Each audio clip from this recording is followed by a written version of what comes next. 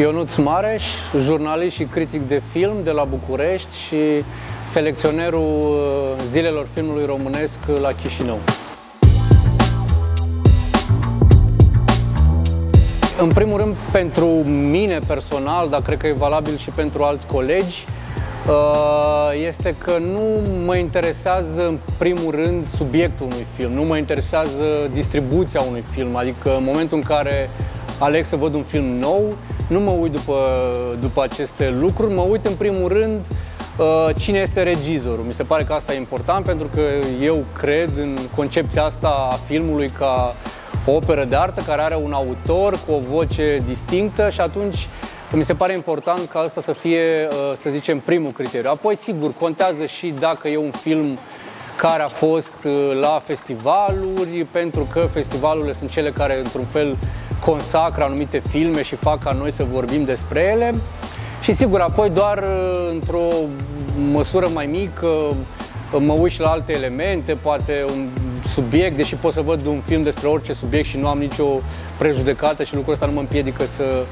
să, să văd orice tip de film. Poate distribuția, eu știu, anumite elemente care țin de țara de proveniență sau, eu știu, un anumit stil, dar altfel Uh,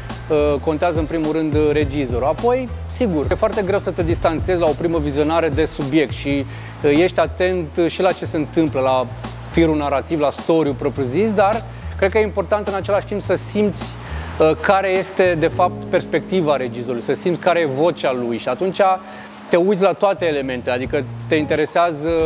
sigur, te interesează și jocul actorilor, te interesează și plotul, dar în primul rând te interesează perspectiva regizorală, te interesează mizanșena, te interesează să identifici care e vocea regizorului și ce își propune el să obțină prin filmul pe care ție ți-l, ți-l oferă. Cred că asta e lucrul la care, la care mă uit și apoi, sigur, după aia vin toate celelalte, toate celelalte elemente.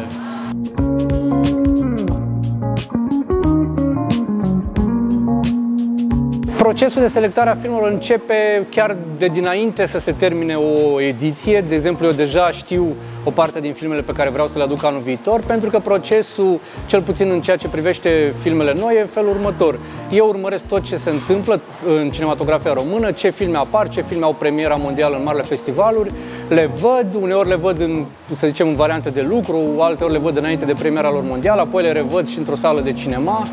despre unele scriu, pe unii cineaști intervievez și îmi fac o listă cu filmele pe care consider eu că ar merita să le aduc la Moldova, la Chișinău și să le arăt publicului de aici. Filmele clasice le aleg în funcție de, ă, nu știu, cineastul pe care vrem să-l omagiem, apoi ă, filmele din secțiunea Focus le aleg în funcție de cineastul pe care vrem să-l aducem în atenție prin această secțiune. Deci, cumva pornesc de la niște idei, pun mai pe hârtie câteva lucruri și apoi, uh, când ne apropiem de festival, uh,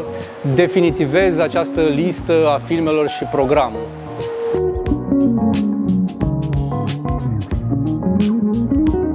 Nu o să zic de filmele noi, pentru că alea sunt uh, principalele care atrag atenția. O să zic de cele cinci filme, să zicem, de clasice pe care le avem în program. Trei sunt din focusul pe care îl dedicăm actorului Dorel Vișan și e vorba de două filme de Mircea Daneliuc, uh, Iacob și Senatorul Melcilor. Sunt două filme uh, extraordinare ale unui mare regizor. De asemenea, o revelație pentru cei care vor să vină la acest film este O lacrimă de fată de Iosif Demian. Este un film extraordinar, un film care a fost la Cannes în anii 80, când uh, puține filme românești reușeau să ajungă acolo. Deci aș vrea să invit publicul să vadă aceste trei filme și celelalte două filme clasice pe care le-aș revedea oricând pe ecran mare sunt cele două filme de Malvina Urșianu din cadrul uh, secțiunii retro pe care o dedicăm acestei cineaste. Este vorba de Trecătoarele iubiri și Întoarcerea lui Vodă Lăpușneanu. Sunt uh, filmele unei cineaste cumva subapreciate, dar care are, au avut un stil foarte special și care merită descoperit.